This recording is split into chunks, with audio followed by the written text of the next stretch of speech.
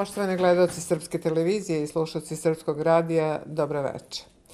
Nekako ovo vreme pre 20 godina, konkretno 10. juna 1999. godine, u Savetu bezbednosti Ujedinjenih nacija doneta je ta čuvena rezolucija 1244, koja je svakako temeljni dokument e, koji garantuje suverenitet i teritorijalni integritet Srbije, naravno sa Kosovom i Metohijom kao svojom pokrajinom. 20 godina kasnije, jedna knjiga koja nosi upravo taj naziv, 1244, sa e, pod naslovom Ključ mira u Evropi, e, se pojavila, doduše ona se pojavila krajem prošle godine, ali je na dan Svetog Vasilija Ostroškog dobila jednu vrlo uglednu nagradu, to je nagrada Pečat vremena, nagrada koja e, ima težinu i značaj. I nekako u isto vreme, kako to već kod nas biva, e, upravo na ovu rezoluciju, na taj temelj, kako rekoh, e, dokument, počeli su napadi. I gle čuda, napadi iz vrha naše vlasti. Do duše na tu rezoluciju se i ranije atakovalo, ali to su činili oni koji su bili pokrovitelji kosovske nezavisnosti. Autor ove eh, zaista značajne i obimne knjige je naš večerašnji gost, gospodin Živadin Jovanović, bivši ministar spoljnih poslova Savezne republike Jugoslavije. E, samo da kažem da je izdavač Beogradski forum za svet ravnopravnih, čiji je predsjednik upravo naš gost, i Srpska književna zadruga. Gospodine Jovanoviću, hvala vam što ste došli da govorite za gledalce Srpske televizije i slušalce Srpskog radija. I hvala vam što ste e, ovakav jedan dokument za istoriju imali snage da objavite. Vama najlepše hvala na pozivu i na ljubaznim rečima o mojoj knjizi. Da. Eto, toliko je tema značajna da zapravo i ne znam odakle da krenemo, ali eto, čitava ova knjiga je posvećena tom dokumentu, kako rekoh, zaista temeljnom i jednom od najznačajnijih za nas. I kako se onda desilo i šta se sa nama desilo da mi pucamo, kako to kolokvijalno kažu, u sobstvenu nogu u ovaj dokument? Pa desilo se, ja mislim, zbog politike e, zbog e, prevelikog poverenja i prevelikog oslonca e, rukovodstva na zapad, na zapadnu strategiju i na lidere najmoćnijih zemalja zapada. Mi imamo jednu veliku promenu koja je nastala prevratom 5. oktobra 2000. godine, kada je uz veliko angažovanje Zapada, uz veliku podršku na planu propagande, na planu finansiranja i e, mnogim drugim metodama, e, smenjena legitimna vlast i e, na vlast su došli e, lideri e, prozapadne orijentacije.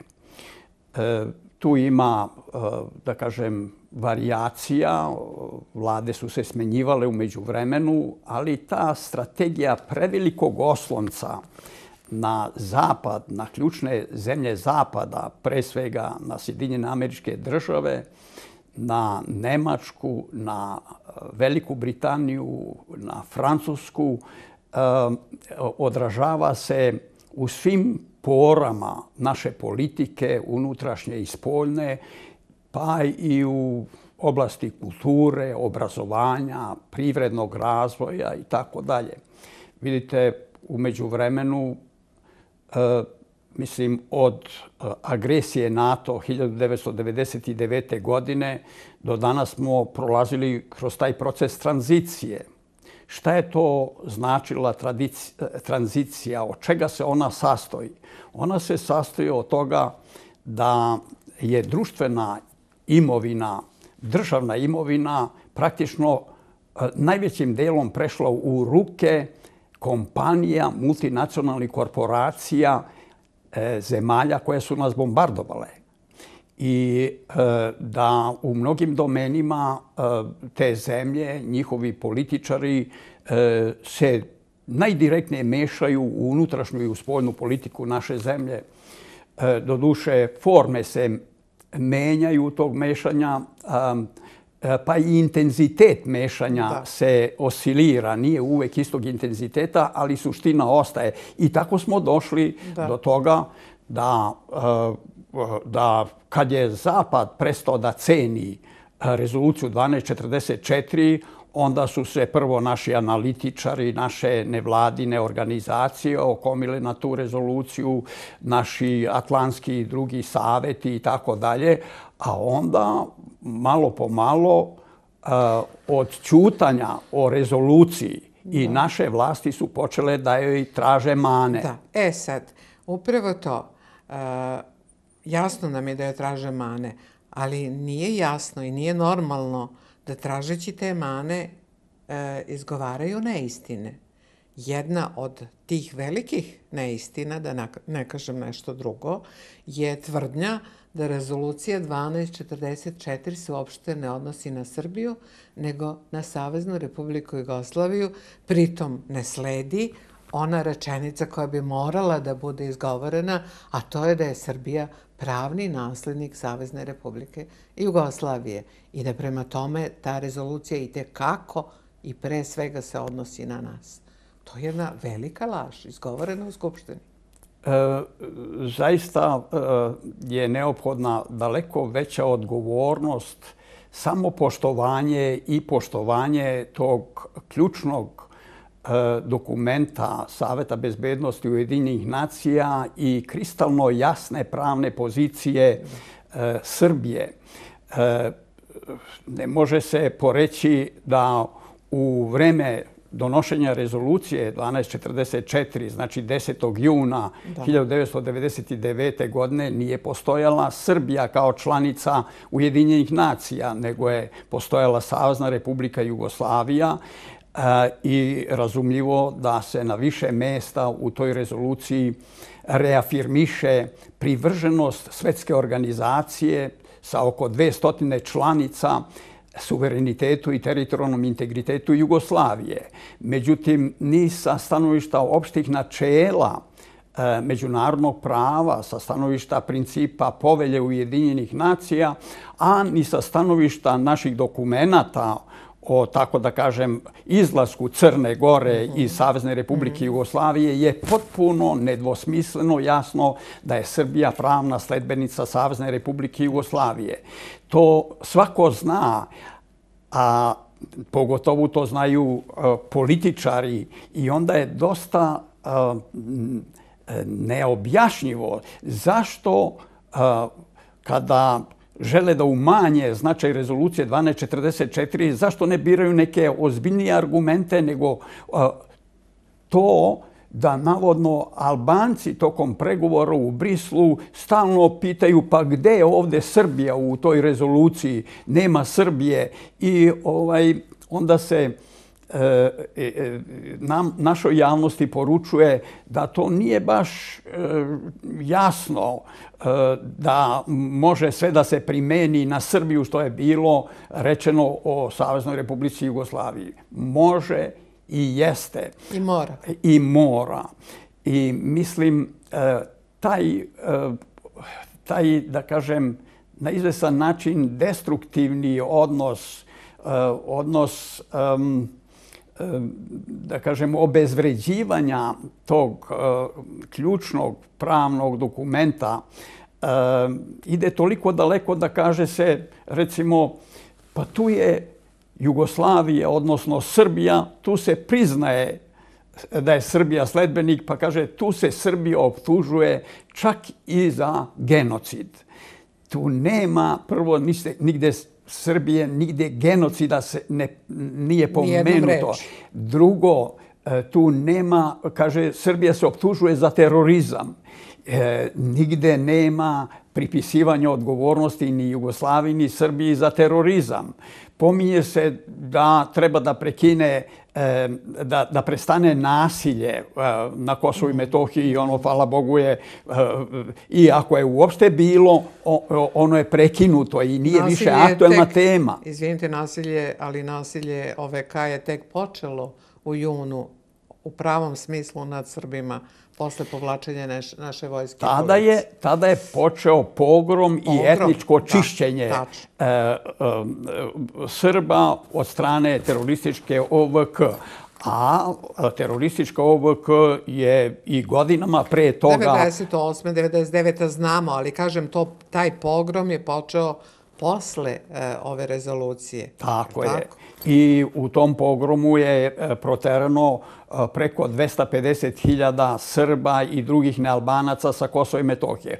Onda se, e, da kažem, izmišljaju drugi nedostaci rezolucije 1244, pa se kaže jedan analitičar u, u najuglednijem dnevnom listu u svom komentaru kaže Pa rezolucija 1244 garantuje suverenitet i teritorijalni integritet Kosova. E, zamislite recimo jednu takvu konstrukciju, jer e, Kosovo se u rezoluciji e, 1244 pominje možda desetak puta, ali uvek sa prefiksom autonomija ili suštinska ili najšira ili autonomija i samouprava i nikad se ne pominje nikakav suverenitet ili teritorijalni integritet. Ti e, te prerogative, te kvalifikacije uvek neizostavno idu uz Saveznu republiku Jugoslaviju i uz druge zemlje regiona. Jer uključivanje tog dodatka da se E, poštoje suverenitet i teritorijalni integritet Savezne republike Jugoslavije kao i drugih zemalja regiona je tako signal da niko ne računa na veliku Albaniju, na neka nova prekrajanja granica i tako dalje. Ali ovaj da se 10. juna 1999. godine govori isključivo o suverenitetu i teritorijalnom integritetu Savezne republike Jugoslavije, a o Kosovu i Metohiji isključivo u svojstvu suštinske, široke autonomije i samouprave, to je nedvosmisleno. Rezolucija ima deset stranica i mnogo puta se pominje suverenitet i teritorijalni integritet Savezne republike Jugoslavije i drugih zemalja regiona. Da. A, ali ovaj sada sada recimo ići toliko daleko pa da se suverenitet i teritorijalni integritet Kosova i Metohije istura kao prepreka nekoj varijanti razgraničenja ili nekoj varijanti promjena eh, administrativnih granica i tako dalje, to je zaista neodgovorno i to je podmetanje kukavićih jaja. To je eh, strategija, eh, čak i medijska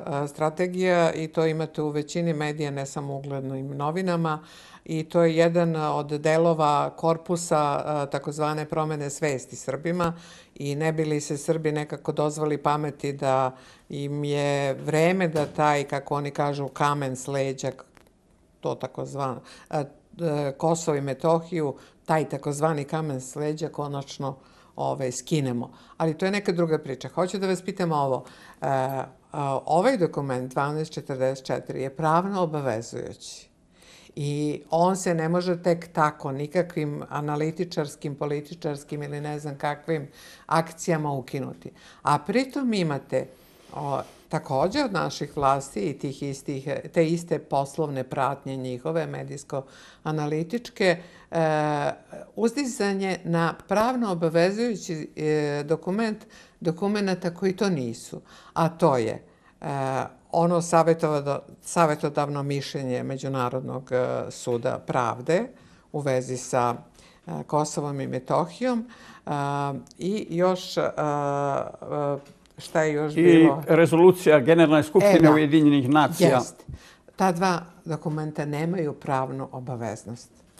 Dakle, prvo i najvažnije, u svetskom pravnom poredku, koji nije bez nedostataka, da pravni akti najveće obaveznosti, imperativne obaveznosti su rezolucije Saveta bezbednosti Ujedinjenih nacija kao najvišeg organa zaduženog za pitanja mira i bezbednosti na planeti. Ne postoje pravne, pravna dokumenta, pravne odluke, veće snage nego što su to rezolucije Saveta bezbednosti uh, Ujedinjenih nacija. To prvo. Drugo, svi napadi na tu rezoluciju počinju tek onda kada je Srbija, kada je Savezna Republika Jugoslavija izvršila sve svoje obaveze pre, i prema tom dokumentu. I kada je na red došlo da drugi izvrše obaveze prema Srbiji, na primjer obavezu da, da izvrše obavezu prava na slobodan i bezbedan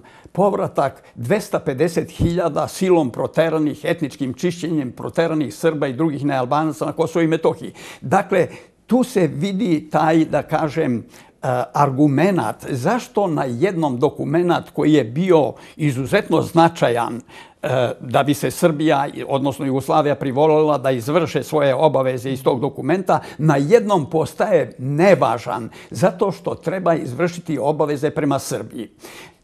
Treće, e, svi ti napadi na, na uh, rezoluciju 1244 su najbolja potvrda njego, uh, značaja rezolucije i njene pravne snage. Zapad je na ime svestan da ne postoji šansa da se rezolucija Saveta bezbednosti ukinu, ukine sem ukoliko Srbija prihvati da se odrekne tog dokumenta i da pokrene inicijativu za zamenu tog dokumenta. Pa Zato na Srbiju idu pritisci da umanji prvo značaj, da obezvredi značaj rezolucije, da e, ističe njegove mane, kako bi onda se pripremio teren preko Srbije da i Zapad izađe iz obaveza prema, te, prema toj rezoluciji. Da, Ta... ali izvinite, to, to su Rusija i Kina tu je sad ta iluzija, a, ali ona Njihov ima... veto u Savetu bezbednosti. O, ona ima dve varijante. Ta iluzija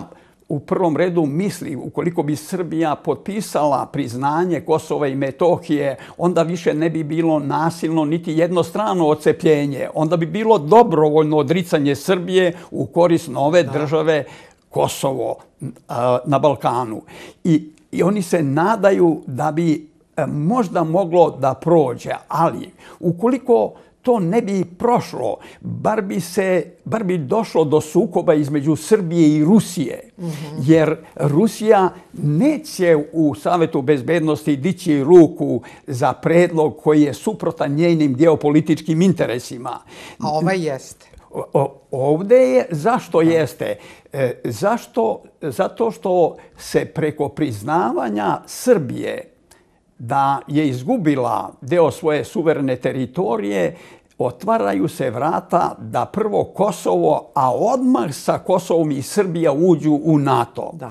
Širenje NATO, to je NATO strategija, je usmerena protiv vitalnih geopolitičkih i bezbednostnih interesa Rusije. Mm. I ovaj Rusiji je potpuno jasno da se to ne radi samo o nekom gašenju nekog E, da kažem, zamrznutog konflikta o razrešavanju, nego o otvaranju vrata da Balkan bude u celini pod totalnom kontrolom NATO-a i da e, da NATO zagospodari jednim čvorištem bitnim e, za povezivanje i za, da kažem, za, za ciljeve prema Kaspijskom bazenu, prema Kavkazu, prema centralnoj Aziji, ali i prema Bliskom istoku i za dominaciju pristupu isto i Africi. Da. Dakle, Balkan je tako jedno čvorište koje ima veliki ne regionalni, gotovo globalni značaj. I u tom smislu Kosovo i Metohija nije neki mali balkanski spor to je jedno čvorište u kome su se upleli najmoćniji činioci svetskih odnosa. I na Balkanu se kao na lakmusu pokazuje i stepen zaoštrenosti globalnih odnosa, a i ciljevi, da kažem, Zapada njihove politike, ekspanzije ka Rusiji. Tačno. Ima još nešto što se uopšte ne pominje, a to je i preko Balkana se pokušava iskontrolisati Bliski istok, centralna Azija, pa sve do izlaska NATO-a na zapadne granice Kine. I otuda ovaj, e, e, to pitanje Kosova i Metohije nije zaista samo pitanje Srbije, to je jasno, ali još je manje to pitanje samo da. Zapada. Ali vidite sad kad ste pomenuli taj faktor NATO, i to ako pratite, a vi sigurno veoma dobro pratite e, našu e, javnost, vidite da je u e, toku jedna vrsta rehabilitacije NATO pakta. Svakim danom se priča da bi gotovo svi Srbi mogli da žive jedino, pazite, u NATO paktu, učlanjenjem u NATO paktu ili u Evropskoj uniji i tako dalje. Onda imate e, sada jednu fenomenalnu akciju, upotrebila sam loš termin, ali jednu čudnu akciju da je recimo USA, da vi znate koja je to organizacija, izdvojila desetak miliona evra, pazite, za a, školske programe u Bosni i Hercegovini i Republici Srpskoj, koji bi se bazirali na e, pojačanje takozvanog kritičkog mišljenja. Pazite, NATO je stalo do kritičkog mišljenja u Bosni i Hercegovini, oko koje se lome koplja oko ulaska u NATO, gde je prepreka, naravno, Milorad Dodik i Republika Srpska, a kod nas imate čitav niz nevladinih organizacija koje traže od naših vlasti, mislim, sa prilično uspeha, da se zaustavi iznošenje u javnosti nepovoljnih činjenica o NATO paktu. E, ja bih rekao... Mislim da, izvinite, mislim da je to dosta u vezi sa pričom koju večeras pričamo. E, da, e, NATO pakt i pronatovske strukture izvan i iznutra, unutar Srbije, E, čine sve e, na promjeni svesti naše javnosti prema NATO-u. Mm -hmm. Tu e, NATO stalno, da kažem, dodaje argumente i pojačava tu kampanju i nastoji da u kampanju za novi imidž NATO-a uključi kako našu vlast, tako naše medije, tako našu nauku i naše obrazovanje. A, nije to slučajno i naša vlast je dosta uključena u sve to. -huh. ne samo bivši režimi, nego i sadašnja vlast. Jer, jer tu ima kontinuiteta. Ostalom, kad su jednog od lidera demokratske stranke nedavno na RTS-u, na javnom servisu, pitali kako on sada ovaj, bio je u DS, DS-u, E, nova vlast e, čini oštar otklon u odnosu na DS, a on podržava novu podržava sadašnju vlast i sadašnje političke stave i politiku. On je rekao, ja to činim zato što ova vlast nastavlja strategiju DS-a i nastavlja u osnovnim stvarima, u strateškim stvarima, nastavlja put ka Evropi, saradnju sa NATO-om, eh, eh, da kažem, tu tranziciju u ekonomiji, eh, transformaciju suinskih odnosa. Evo vidite, sad smo prodali Pepsi Coli, smo prodali i knjaza Miloša i tako dalje. Ovaj, I od stranih kompanija pijemo našu vodu. Dakle, E, tu se strategija ne menja. Strategija znači prozapadna strategija ostaje. Ali šta je novo ova vlast uradila u tom pogledu? Potpisala je dva stepena tog IPAP-a, yes. e, e, tog programa koji predstavlja najviši vid saradnje jedne zemlje nečlanice sa NATO-om. I mislim, zaista je ta saradnja na izuzetno visokom nivou čini mi se u nizu stvari da saradnja Srbije sa NATO-om prevazilazi saradnju zemalja članica sa NATO-om, prevazi saradnju i otvorenost za saradnju osnivača NATO-a. Kao što... Izvinite, pa konačno imamo kancelariju NATO u našem ministarstvu ovaj, vojnih poslova. To je eto ta kako bi se reklo to u novom govoru, paradigma stanja i duha i naše politike. E, mi čujemo i treba da se čuje kako držimo do dostojanstva, kako niko neće nama zapovedati, kako mi eh, eto i mudro vodimo politiku i tako dalje. Pa slušajte, nećemo valjda dokazivati evropsku i opredeljenost i eh, predvidivost naše politike tako što ćemo raditi i ono što nedopustivo za svakog normalnog čoveka. Kako može biti dopustivo da u istoj zgradi i isti ulaz koriste NATO i Ministarstvo odbrane naše zemlje. To ja ne znam, to je ta paradigma naše svesti, naše politike i koliko to može da se uklopi u politiku samostalnosti, nezavisnosti i dostojanstva zemlje i nacije, meni zaista nije jasno. Izvijete, samo da se e, vratimo e, e, ne samo na rezoluciju, nego na čitav taj, e, kako bih rekla, psihološki e, teren pripreme e, ovaj, stanovništva na to da treba da uzmemo u obzir realnost, a ne mitove, da se ne okrećemo nazad, nego da gledamo u budućnost. Na, na čitavu tu rekla bih merkantilističku poruku da ukoliko se otkačimo od tog Kosova, živećemo bolje, što je strašno. I e, konačno na to čeprkanje po toj prošlosti i upozoravanje stanovništva da konačno e, veoma, veoma dugo, mnogo duže nego što, je Kosovo i Meto, nego što su Kosovo i Metohija u sastavu Srbije, oni nisu bili u njenom sastavu. To je jedna vrsta abolicije svih mogućih okupatora od a, Turaka do danas. Mislim da ste u pravu. Dozvolite mi samo jedan detalj da kažem. U dokumentu između Srbije i NATO pakta mhm.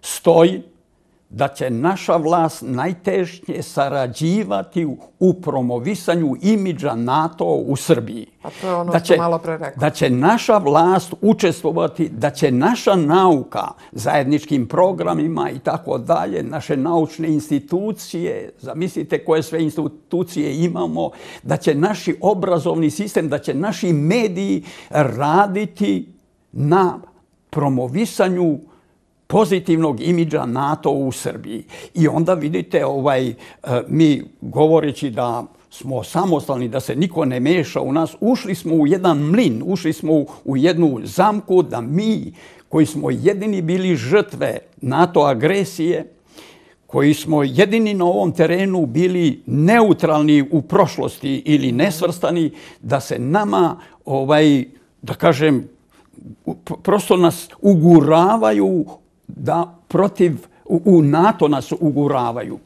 E, vi ste e, pomenuli i to oko obrazovanja. Nama učbenike pišu autori iz NATO zemalja. Nama se, nama se prodaju učbenici za decu srednjih osnovnih škola koje, koje eto, nemačka kompanija je vlasnik koji pobeđuje na našim eh, eh, konkursima za štampanje učbenika i tako dalje. Pa ipak to nije normalno, znate, ovaj, mislim da, da se ne igramo žmurke. Normalno je da srpske kompanije štampaju, da srpski autori pišu učbenike istorije, za srpsku decu. Kao što je normalno da u Hrvatskoj hrvatski autori, hrvatske kompanije budu angažovane na tomu i tako dalje. I onda mi ovaj prosto, e, da kažem, e, zaista smo ušli e, u, e, u program inženjeringa za preumljenje srpskog naroda. E, to nije lak poduhvat, neće to ići baš tako lako, ali ovaj sve jedno u svim prilikama, pa pogotovo u, preko medija, treba ukazivati da to ne vodi ničemu dobrom. Ta teza da ovaj mi moramo biti realni, i tako dalje, ona se samo koristi u tom smislu da mi odstupimo od onoga što je normalno. Što je normalno je da branimo svoje. Normalno je da tražimo argumente da branimo svoje i pravne i političke i istorijske i sve druge. Ali mi ovaj smo, da kažem, na vrlo visokim nivoima prihvatili da odrađujemo tuđe poslove, poslove NATO-a. Kad neko kaže u Srbiji sa visokog nivoa, ali moramo voditi računa da Kosovo nije uvek bilo srpsko. Pa znate šta to znači? Znači da mi amnestiramo okupatore i uzurpatore naše E, sve te zemlje, da, da mi ovaj, i te periode turske okupacije Kosova koristimo da kažemo pa ovaj, ni, tada nije bilo Kosovo srpsko ili da recimo u periodu e, uh, hitlerovsko-musolinijevske okupacije Kosova i Metohije kad je bila na delu Velika Albanija, na jednoj strani Velika Hrvatska, na drugoj strani, da i taj period uključimo ovaj, da Kosovo nije bilo uvek srpsko. A, zašto, zašto tako sami sebe ponižavamo? Zašto, e, zašto tako, e, da kažem, neodgovorno, rekao bi i poslušnu, poslušnički idemo u susret tim zahtevima. Zašto onda bar ne čutimo, a mi pričamo, mi držimo do dostojanstva, mi ovaj, nikada nećemo dozvoliti da se neko meša u naše poslove i tako dalje. E, ne možemo biti mirni da se vrši revizija istorije i da u tu reviziju budu uključeni i naši državni predstavnici. Da. I da budu uključeni također u program stvaranja Velike Albanije. Jer ovaj, ako mi nekako tako imamo benevolentan stav prema zahtevu da potpišemo neki novi, sveobuhvatni, pravno obavezujući e, sporazum, mi u stvari poništavamo svu praksu i sva naša dosadašnja iskustva. Mi imamo rezoluciju kao najviši pravni jak u, u pravnom uh, poredku, uh, uh, globalnom pravnom poredku. Iz njega je izbačeno sve što je u kori Srbije. Mi imamo briselski sporazum. Evo, prvo smo rekli da je to politički sporazum, pa je to ocenu dao i Ustavni sud, a onda smo polagano prihvatili i mi sa najvišeg mesta da je to međunarodno pravni sporazum. Šta je izvršeno iz toga? Samo ono što je protiv Srbije i što je srpska obaveza i ništa od onoga što je u kori Srbije. Ali mi Zašto smo u tome sada, saučesnici. Koliko ćemo puta pona, biti ponavljači u politici? Zašto je to nužno? I da li ako su rani režimi bili o, o, o, pogrešno radili, da li je to alibi nama da i danas ponavljamo greške ili da danas nastavljamo izvršavanje njihovih grešaka? Da. Prvo se govorilo da je Milošević ovaj izgubio Kosovo. Pa kako, a kako je izgubio njima se govori Milošević izgubio Kosovo, od vas tražimo samo da potpišete i da, da je to istina. A zašto Miloševića ne primoraše da on potpiše kad je već izgubio Kosovo? Zašto ga nisu primorali da on potpiše nego muče ovaj te režime od e, e, prvog 2000-te do, do, do, do sadašnjeg. Ali pazite, to je bio američki nalog, e, to sam čitala u nekim e, i knjigama sećanja na 99. i tako dalje. E, američki nalog je bio ovdašnjim vlastima da šire tu mantru da je Kosovo izgubio Milošević. I to možete malo, malo svaki dan čuti, tu priču. A vi ste u pravu, što nam ga traže ako ga izgubio.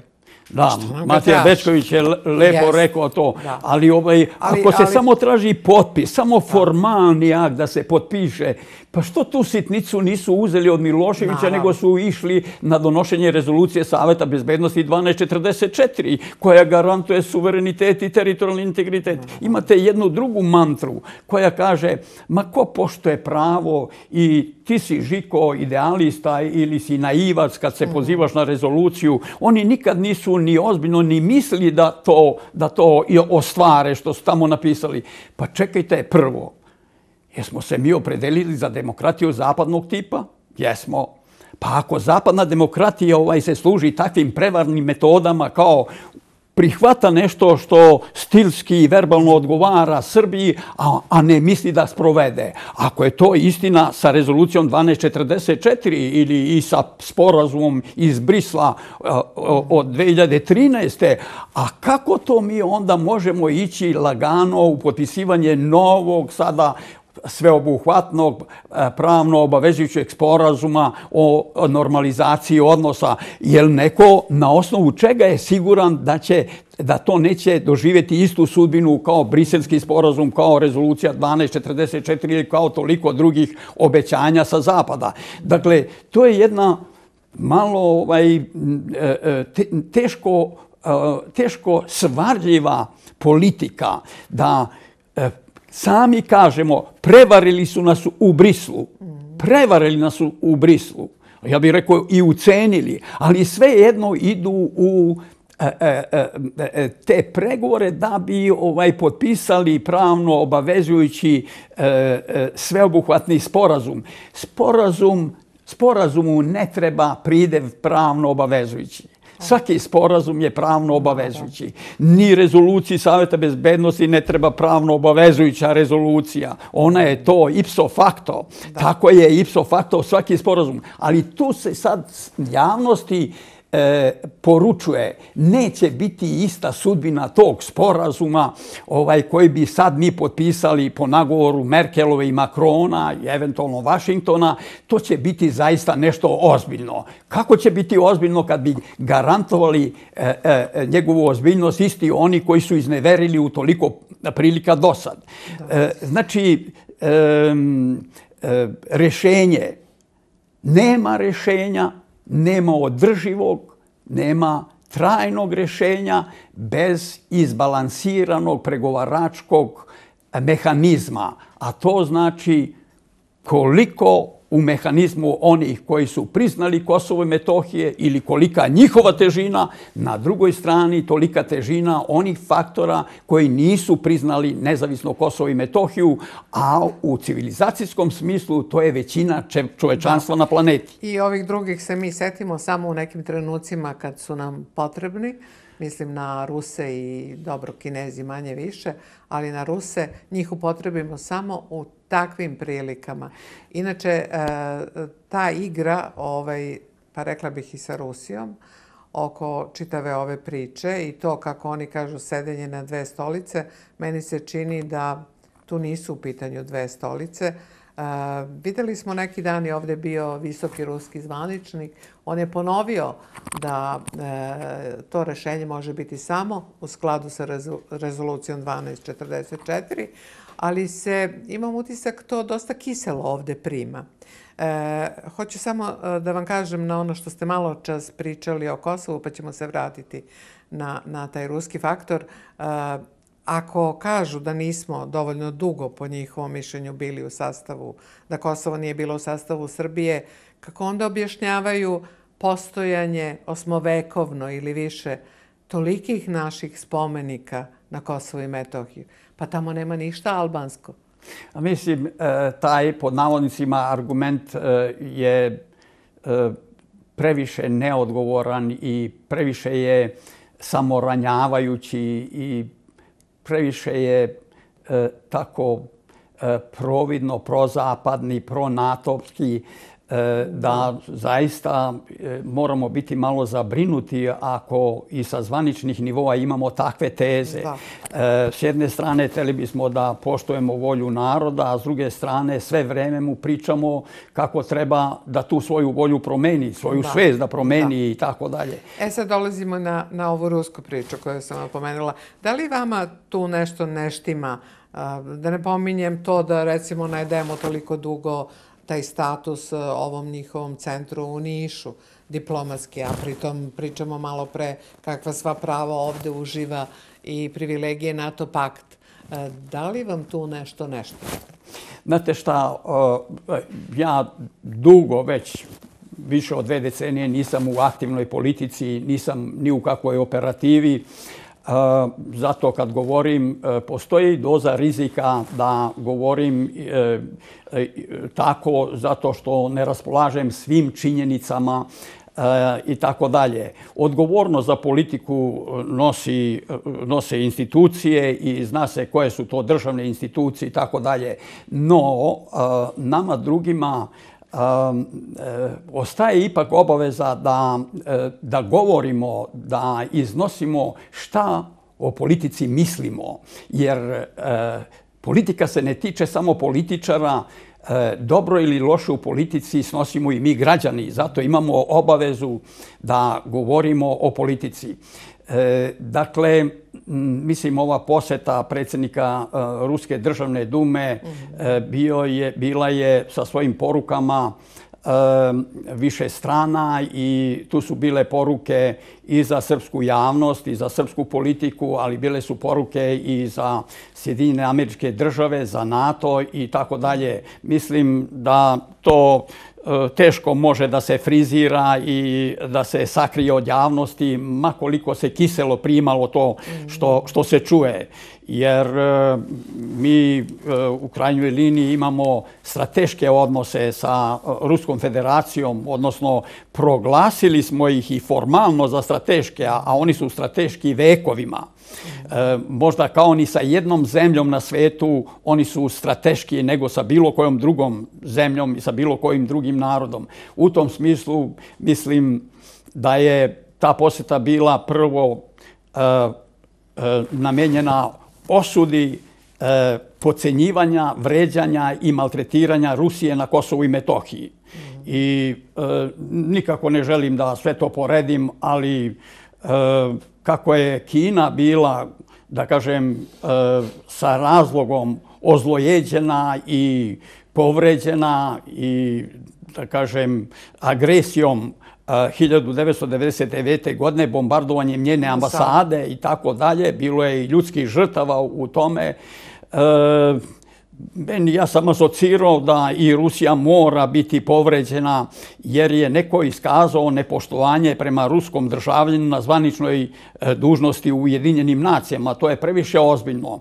I e, reagujući, osuđujući taj gest, e, predsjednik Ruske državne dume je poručio jasno da to može da se desi svakom drugom od diplomatskom predstavniku svake druge zemlje, bez obzira na, na, na političku orijentaciju ili na ciljeve i tako dalje, i da to kao presedan mora da bude univerzalno osuđeno. Ne sme se do, dozvoliti širenje haosa. A da ne kažem da je u tome bilo i namere onih koji su zamislili pogrom i tu, tu, tu um, agresiju uh, specijalne policije uh, na sever Kosova i Metohije. E, druga je poruka bila uh, jedno podsjećanje na savezništvo Srbije i Rusije u Prvom svetskom ratu i u Drugom svetskom ratu, e, bilo je tu i podsjećanje, da podsjećanje na kraju i, i to je rekao predsjednik Dume koliko je hiljada ruskih vojnika izginulo u odbrani Beograda i u odbrani Srbije, hiljadu, oslobađanju Srbije 1944. godine. Oko 7000? Da. E, to, to e, to je bilo kao posjećanje da se ne zaboravi, da nemojte, nemojte da zaboravite vi u Beogradu, eto, ovaj, ko smo bili u istoriji i šta smo bili. Drugo je bilo podsjećanje NATO-a i Sjedinjenih američkih država u, u svakom uh, pogledu, ali i Nemačke, Velike Britanije i Francuske.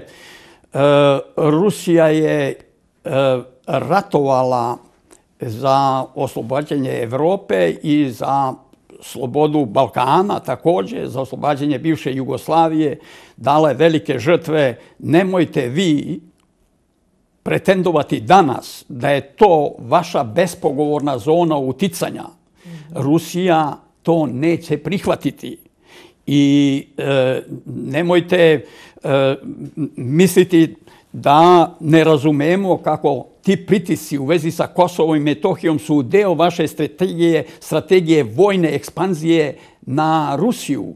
Da je to deo ignorisanja legitimnih ruskih e, geopolitičkih interesa i interesa bezbednosti. Ali kad govorite o toj panoramskoj slici sveta danas, vrlo su značajne dve stvari koje su se upravo ovih dana dešavale. E, mislim da ste vi to skoro u nekom tekstu ovaj, skrenuli pažnju na to. To koliko je Rusija koja je ugradila, ja mislim, 28 miliona, ako se ne varam, žrtava u taj takozvani slobodni svet, jel? oslobađanje Evrope od nacizma i tako dalje, e, bila zaobiđena na ovoj proslavi, da tako kažem, gde su se našli Trump, e, Tereza May, ko je još bio. A, a sa druge strane imate šiptare u Prištini koji obeležavaju 20 godina valjda od pogroma a, Srba i te NATO agresije, gde su se također neki bivši zločinci, političari okupili. E, te dve slike govore o stanju sveta danas, meni se čini na dobar način. Da, ima i još jedna sličica uh, od juče.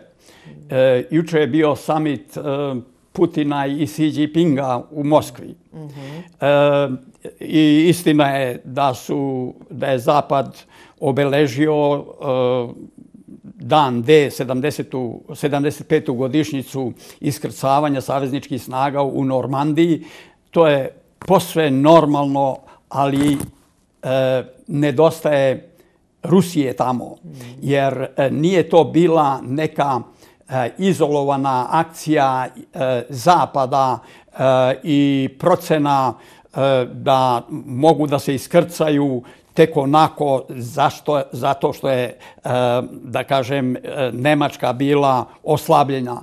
Nemačka je bila oslabljena i bila je u ropcu od Stalingradske bitke. Mm -hmm.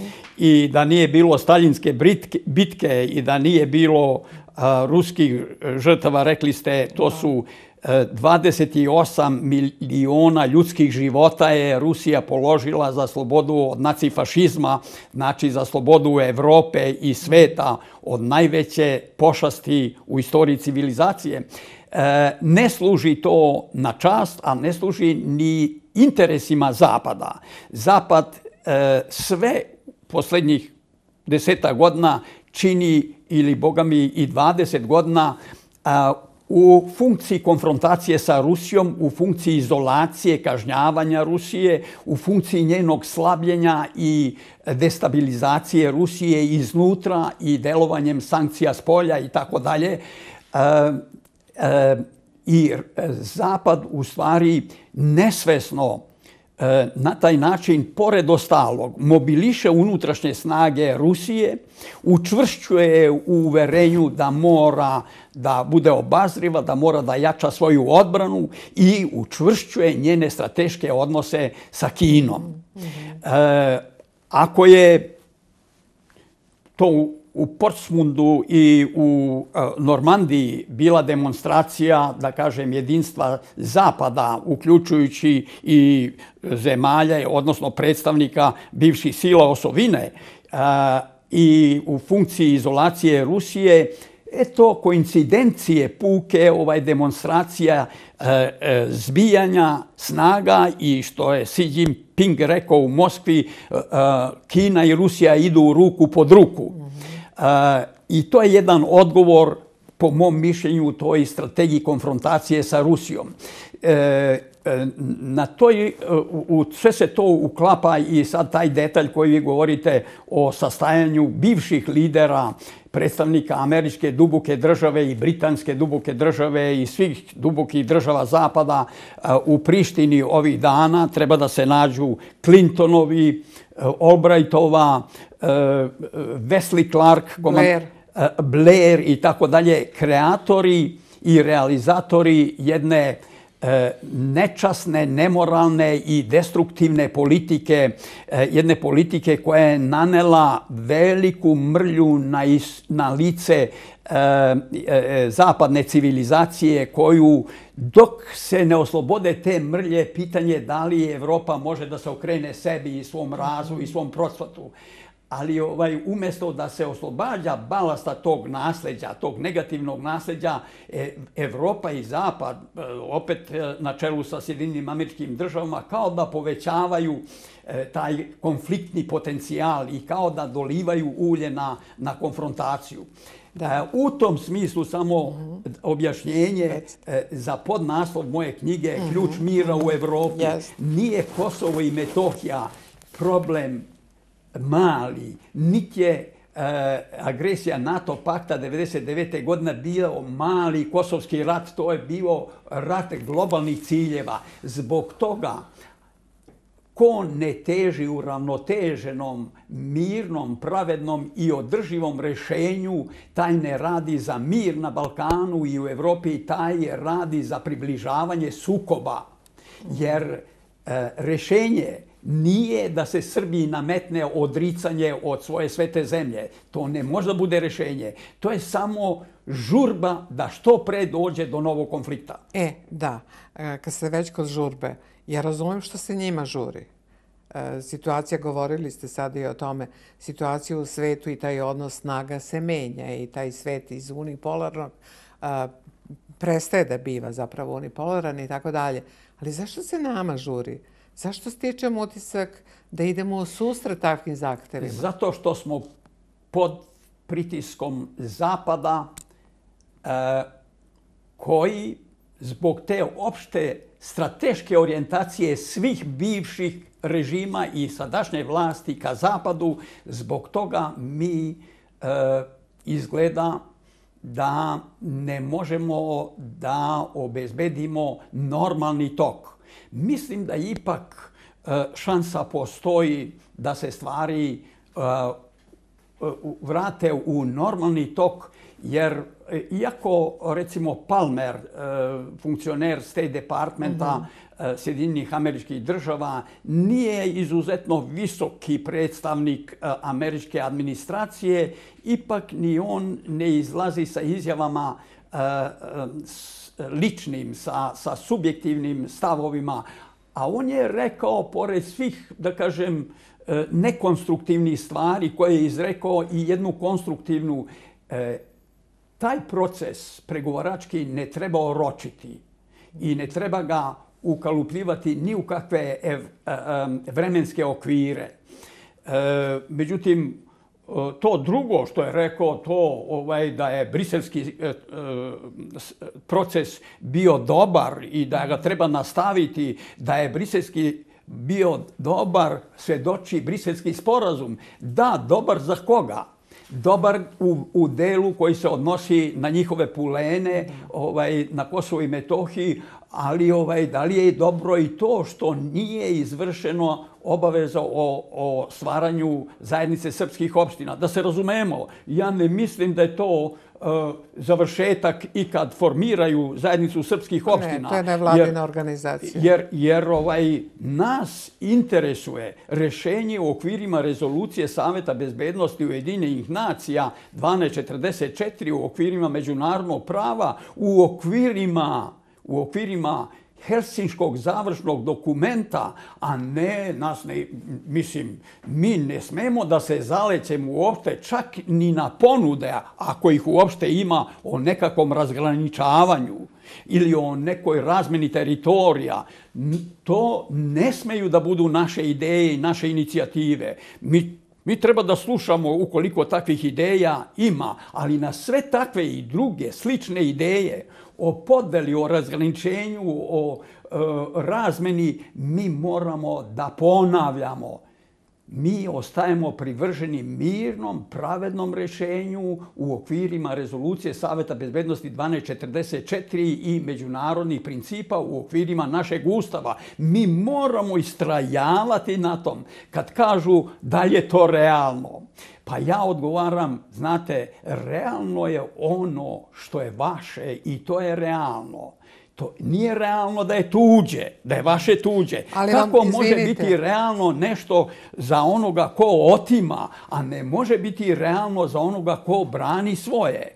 Znači, moraš verovati u cilj kome stremiš, a cilj ne sme da bude članstvo u Evropsku uniju po svaku cenu, ponižavanje Srbije, prihvatanje uloge u mehanizmu za stvaranje eh, Velike Albanije, prihvatanje uloge da mi osnižavamo očekivanja srpske javnosti ne gledajući da li to bilo ko drugi radi u Evropi. Ko još to radi što Srbija radi da snižava očekivanje? Ko još, eh, da kažem, huli sobstvenu naciju. Ko to još kaže moj narod nije dobar, nije racionalan, moj narod ovaj najviše voli da laže samog sebe ili moj narod ne prašta uspehe i tako dalje. Pa To, to nije dolično, to nije odgovorno i to nije tačno. I nisu lideri pravili ovaj srpsku državu, narod je pravio, bilo je vođa, a su bili na liniji očekivanja naroda. Nije narod loš ako misli da je Kosovo i Metohija srpsko. Naravno. Iako ne, iako ne želi da ga se odrekne.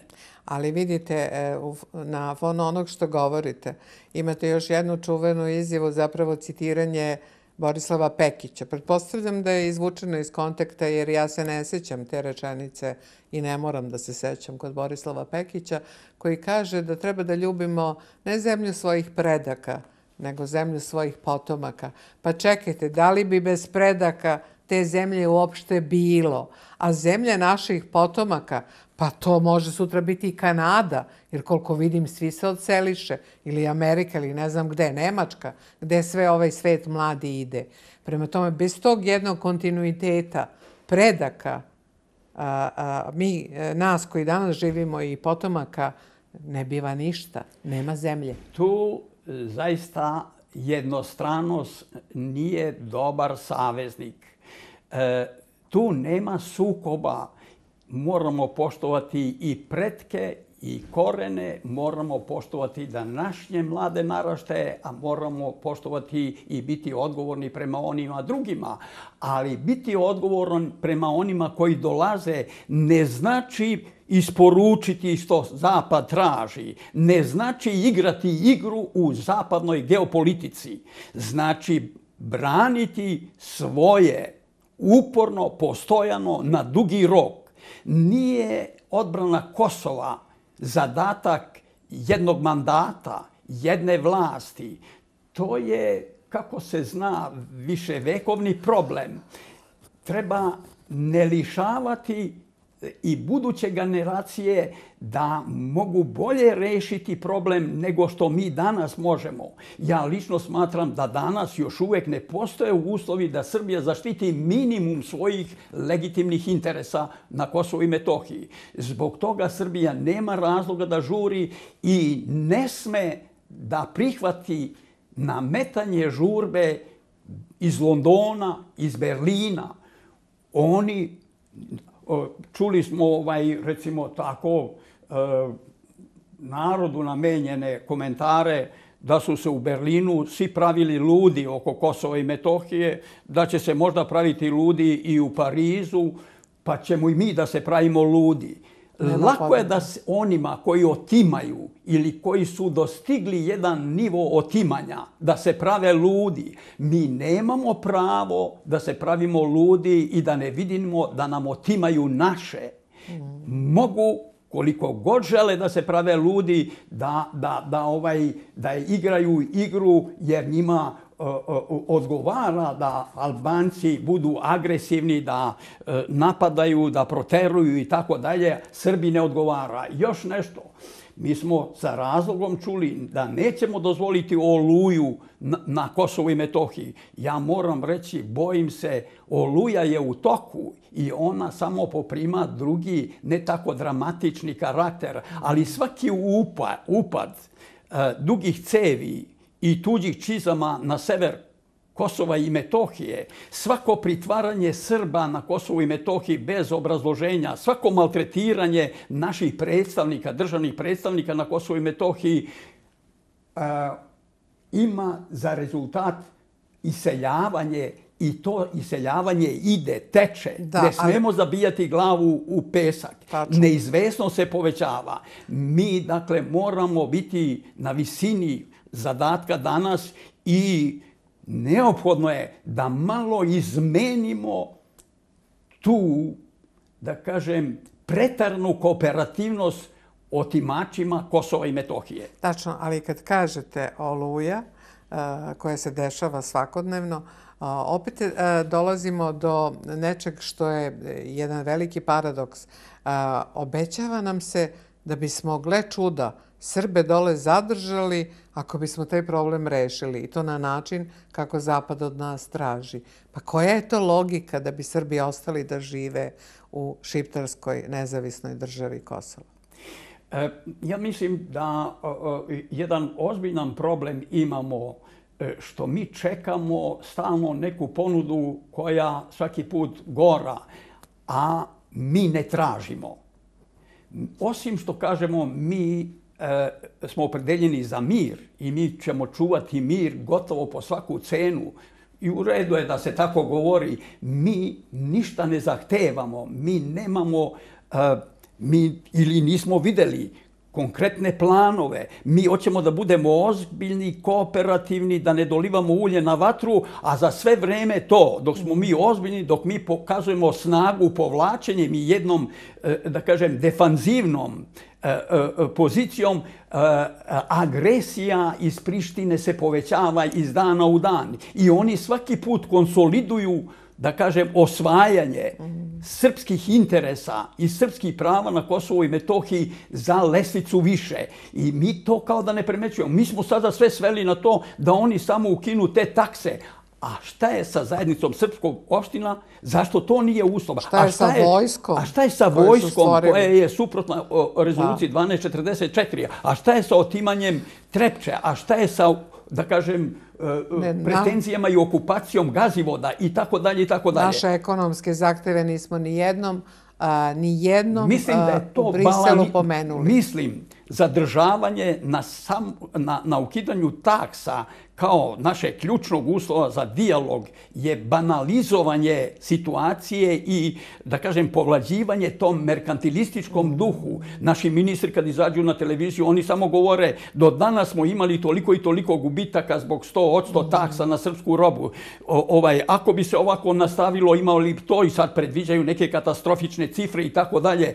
Sve je namenjeno narodu koji se muči u siromaštvu i za koga je svaki dinar veliki, a, a ovaj u stvari niko ne govori o državnom interesu na Kosovo i Metohiji. O tome koliko bi nas koštalo uh, da se odreknemo Kosova. I... Najskuplje parče zemlje u Evropi. Tolika su nalazi, nalazišta na Kosovo. Zašto, recimo, meni dugo vremena nije jasno zašto se ne zahteva sprovođenje rezolucije 1244 o pravu na slobodan, bezbedan i dostojanstven povratak 230 proter, hiljada proternih Srba i drugih nealbanaca. Ali hiljadu Zašto vojnika paralelno... i hiljadu policajaca. Da. Zašto se svih odredaba, mislim da sednica Saveta bezbednosti zakazana uh, ovih dana, treba da se iskoristi kao E, e, prilika za inicijativu Srbije da povodom 20 godina od usvajanja rezolucije tražimo celovitu analizu o tome u kojim delovima je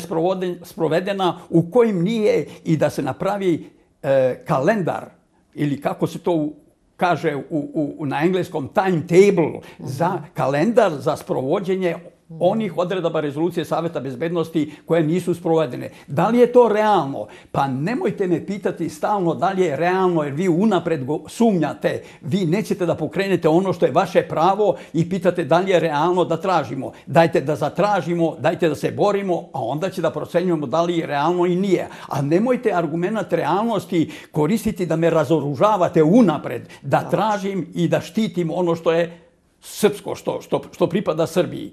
Razume se samo diplomatijom, e, e, političkom podrškom, političkim mirnim sredstvima i nisu ni daleko iscrpljene te metode, ali, ali ja ne vidim tu inicijativu. Ja ne vidim kada je posljednji put u Savetu bezbednosti zatraženo pravo na slobodan i bezbedan povratak 230.000 Srba i drugih nealbanaca proteranih u etničkom čišćenju.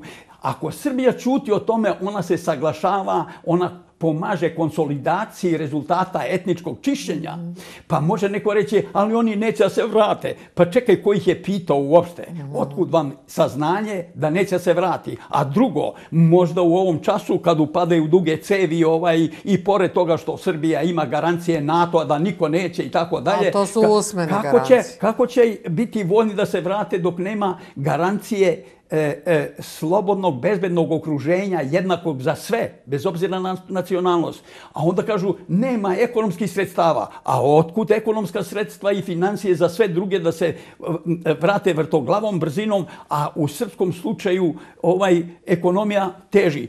I Srbi će, možda čak bi Srbi bili spremni da stegnu kajiš, ako treba za određeno vreme, ali da se obezbedi ekonomska osnova pod uslovom da je stvarno to razlog da se ti Srbi proterani vrate na svoja imanje i u svoje domove. Pa evo na kraju smo razgovora. E, možda neko svetlo na kraju tunela i uvek treba imati ovaj, u obzir da postoji negde neko svetlo. Možda to sve o čemu pričate bi trebalo naše vlasti da rade, možda će se i probuditi, ali u svakom slučaju nema odustajanja i borba za Kosovo i Metohiju, ja pretpostavljam da će biti dugotrajna i da se neće sve tako baš završavati brzinski kako je sada trend i kako nam stižu poruke sa zapada, a ovde su vrlo te poruke uvažavane, potpišite to već jednom pa da idemo u Evropu. E, saglasan sam sa vama, treba imati daha za dugu diplomatsku bitku i treba imati sluha e, za mišljenje da je briselski sporazum iscrpeo svoje domete i da format treba menjati jednako usmeren ka mirnom, pravednom i održivom rešenju. Ali i činjenica da je izmešteno, da je Evropska unija stvari izmestila u berlinski proces ili u parijski proces, također govori na svoj način da ovaj E, pregovori u Brislu nemaju šansu da isporuče uravnoteženo rešenje. Potrebno je uključivanje i faktora koji nisu priznali e, nezavisnost Srbije. Jedino to može da dovede do uravnoteženog i održivog rešenja. Mm. E, gospodine Ivanoviću, hvala vam na ovom razgovoru i kao što rekao, hvala vam za ovu knjigu. Mislim da je važna možda više za istoriju nego za ovo vreme danas, mada naravno i danas i tekako, ali prosto kao dokument o e, našoj borbi za Kosovo i Metohiju. Knjiga podsjeća na 1244 kao ključ za mir, ne na Balkanu, nego u Evropi. Tačno tako. Hvala još jednom.